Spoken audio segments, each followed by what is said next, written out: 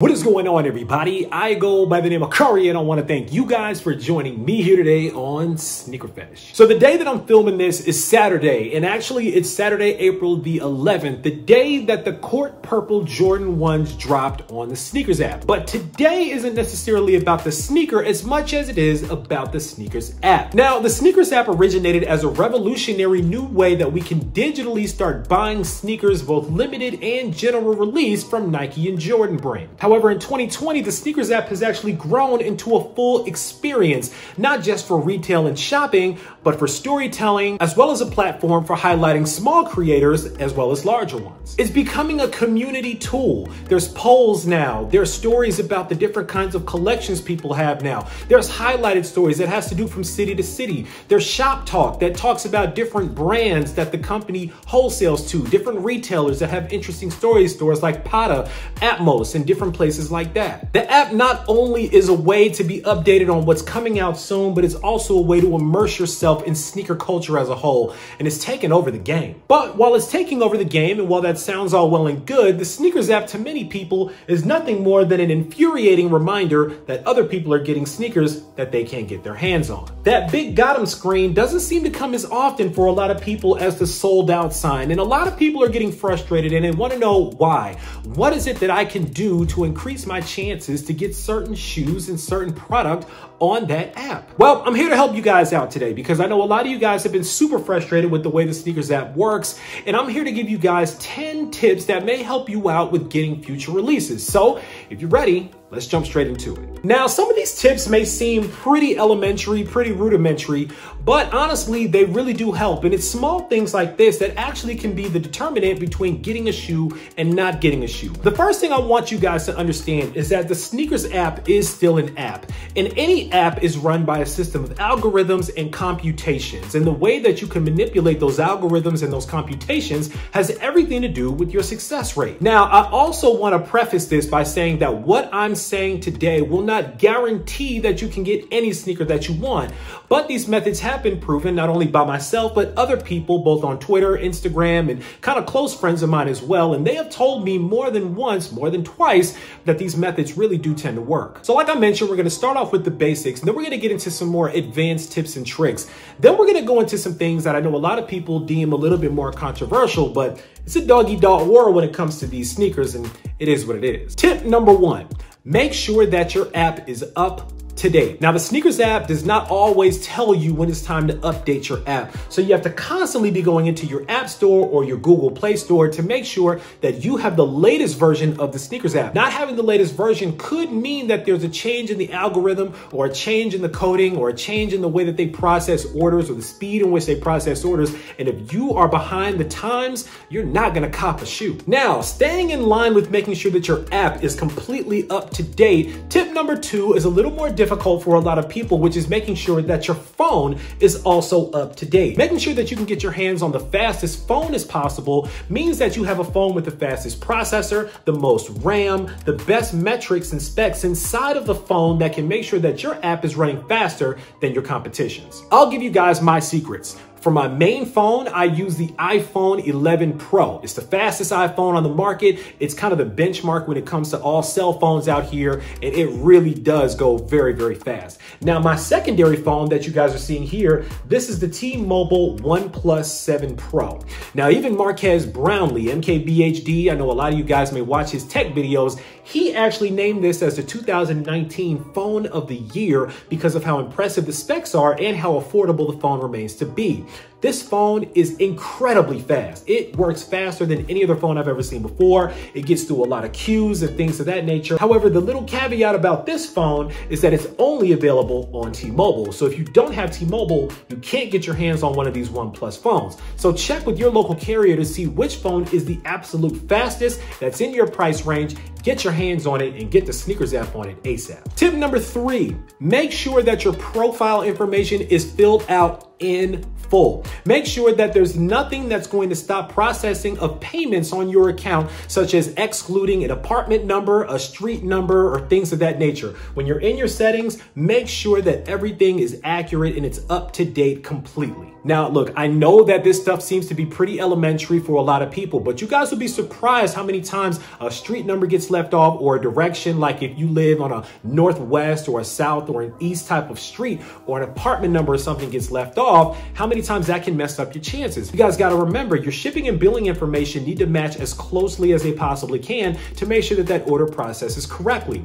A lot of you guys get payment errors or third-party payment errors because your shipping and your billing information aren't jiving correctly. So make sure that when you're filling out your profile information, that goes for your shipping and billing. And whatever your billing information is also matches your exact billing information that's actually on the card that you're using. Now, let's get into the good stuff. Tip number four, log out of the app completely about 10 to 15 minutes before any drop happens that's getting ready to happen on the SNKRS app. Make sure that you're completely logged out of the app. And one thing that I like to do is actually close the app completely. I'll completely close the app out, make sure it's not running, completely log out, and then I will go back into the app and log back in. What that does is you're basically clearing the cache. And if you guys don't know what the cache is, basically it's all the stored information that keeps the program running in the background. Sometimes it actually helps your app run a little bit faster if you clear the cache, log out, refresh, sometimes even update your app and then go back into it. It kind of resets everything and refreshes everything. If you leave your computer on for a really, really long time, like a week, right? You'll notice that your computer will start to hang.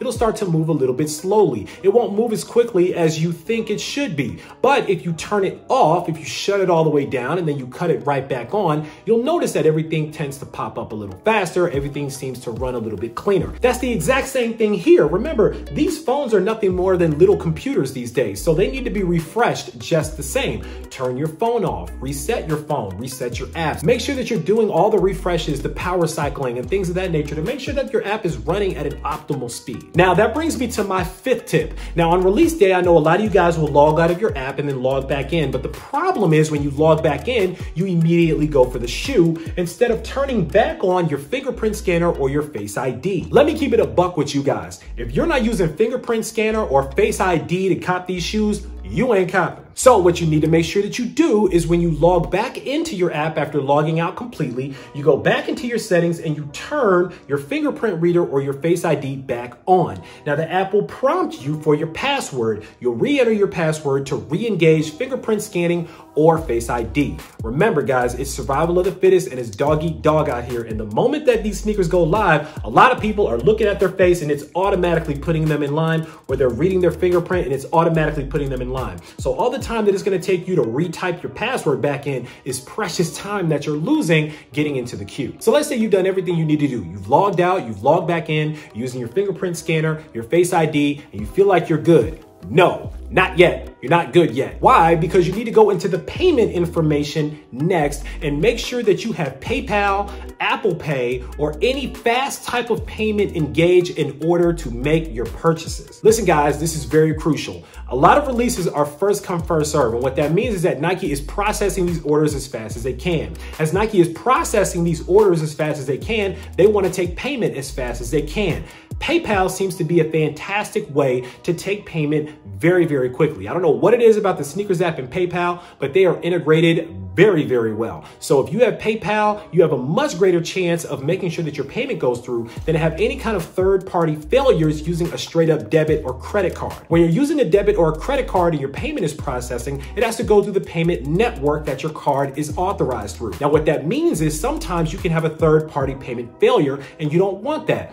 PayPal is a trusted source of secure online payments. So Nike already knows that PayPal is good money. So if you process a payment through PayPal, Nike's gonna pick it up just like that because they already know that the money is good. Same thing with Apple Pay. Apple and Nike, as you guys know, have an incredible relationship with one another. So if you're on an iPhone, use PayPal or Apple Pay, you will be good. On Android, you still have the option to do PayPal, and I would make that option your top option for processing payments if you can. All right, guys, we're down to tip number seven, and I want wanna make sure that you guys hear me very, very clearly. These accounts do not endorse this channel. I don't know the people that run these accounts on Twitter, but I'm just letting you guys know from my personal experience, if you turn on notifications on Twitter from these Twitter channels, you stand a much greater chance of copping sneakers as soon as they come out, especially for shock drops than anybody else will. And those three accounts are Sneaker Twitter, J23 app, and SoleLinks. These three accounts tend to have monitors that work behind the scenes, and we'll get into monitors in a second, but they seem to have monitors that work behind the scenes that immediately let them know when a sneaker is available or a sneaker is coming up as available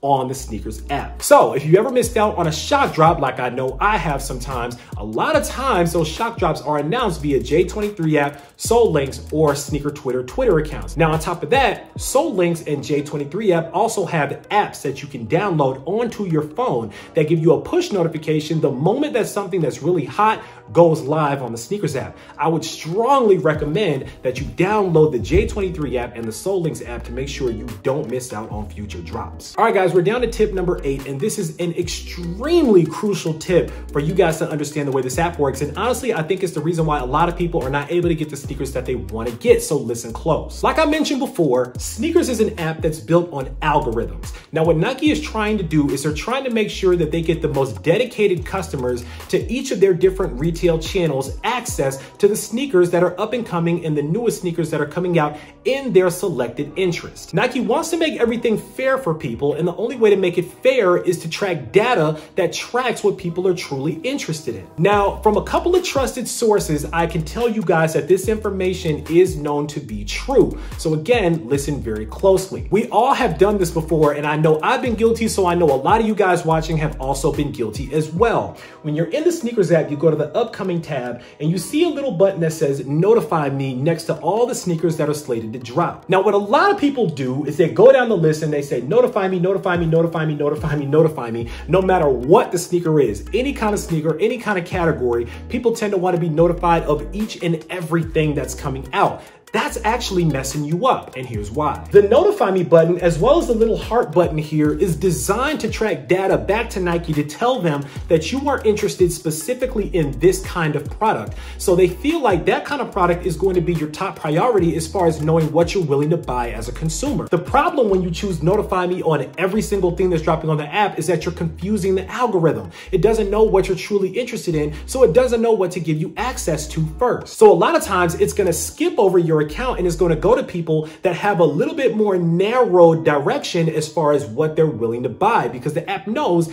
they're willing to buy this, but they're not willing to buy that. Contrary to popular belief, hitting notify me on everything will not increase your chances of getting stuff. It actually will decrease your chance of getting stuff because you're screwing around with the algorithm. So please hear me clearly when I say this only hit the notify me button in your app for sneakers that you know you are going to buy if you get exclusive access to it or if you get the ability to purchase it. The same thing with the favorite button. Now, the cool thing about the favorite button is that you can also favorite stories, kit checks, street stories, little things like that. When you favorite those things that are not directly buying sneakers, it lets the app know that you're interacting with it properly. It tracks if you guys are watching all those stories. It tracks if you guys are doing the polls. This app tracks everything that you do, so you can't trick it. You can't not interact with the app the way that they want you to, but still think you're gonna get exclusive access to everything and top priority when it comes time for sneakers to drop. You have to make this app low key a part of your life. Remember, I said this app is an experience, and that's what Nike is trying to turn it into a full experience, not just you dropping in, buying a sneaker, and then dropping back out, thinking that you're gonna get access to off whites. Speaking of off whites, I just wanna let you guys know this isn't one of the 10 steps, but when it comes to things like draws and raffles,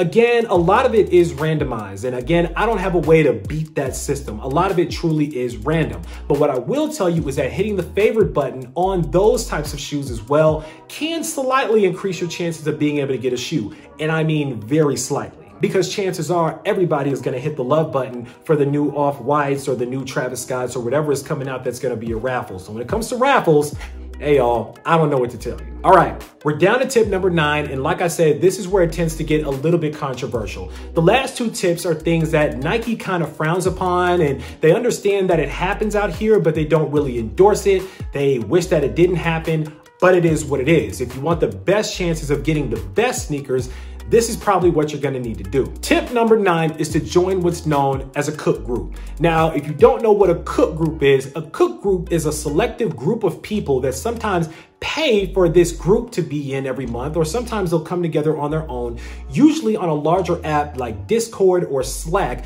and they come together and they share tips and tricks on what to grab. Now, not only do they share tips on what's really hot coming up, but they also share tips about botting, which is a whole other concept we'll talk about in another video. They talk about what the best bots are to use, how to set them up, any little secret times that people may know that a certain shoe is dropping, exclusive access times, things of that nature. There's a lot of secret information that gets shared in a cook group. And like I said, that's why a lot of cook groups out here cost money to join every month because the moderators, the people that own these cook groups, have a lot of information that I know a lot of you guys, especially on the resale side of the house, want to get your hands on. Now, within these cook groups, the best ones for that nature, they have what's known as monitors. Now, monitors track certain websites, a lot of websites, be they Shopify or a lot of different other types of websites, and they will alert you the very second that a sneaker shows up on a website, and that includes on the SNKRS app and on Nike.com. Simply put, a monitor will let you know the moment that a sneaker goes live or is getting ready to come up as live, and that includes a lot of times exclusive access stuff as well. So if you want the best chance to get notified the second that something drops,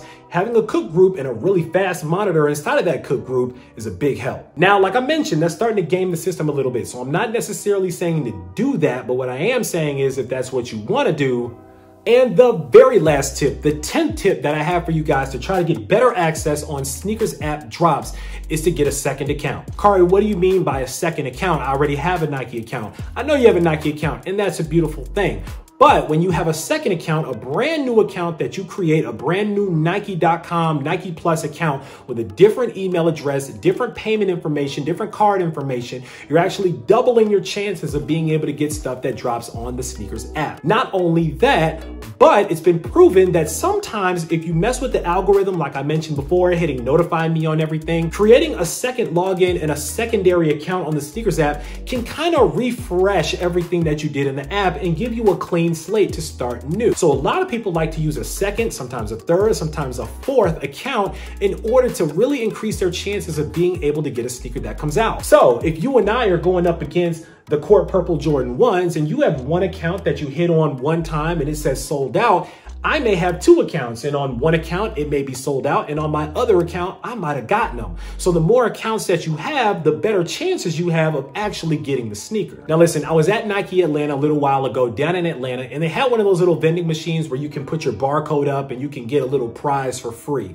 Now I talked to the guys that were working there and I said, hey, I got one prize, but what if I use my second account to get another prize? The guy there said, hey man, I didn't hear anything that you just said, but it is what it is but they understand what it is. Nike just kind of frowns upon it because again, they feel like that's kind of gaming the system. So you got to be careful doing stuff like that or kind of letting people know that you're doing stuff like that. But I need you guys to understand that that's what's going on out here in these streets and that's what you're up against when it comes to getting these shoes. And that's pretty much all that I got, guys. That's 10 tips that I really hope helps you guys get more sneakers, more exclusive drops, more things for you to rock in your collection and give us those fire pictures to on the internet. Hopefully this helped you guys out today. Hopefully hopefully you guys are able to cop a little bit more and to see a few more of those got 'em screens and a few less of those sold out screens. Now it's time for you guys to sound off down below and let me know what you thought of these 10 tips. Do you feel like they're gonna help you at all? Or if you have any tips of your own for the SNKRS app, sound off down below. Let's dialogue with one another, dialogue with each other. Maybe we can share some tips and tricks that have worked for other people in the past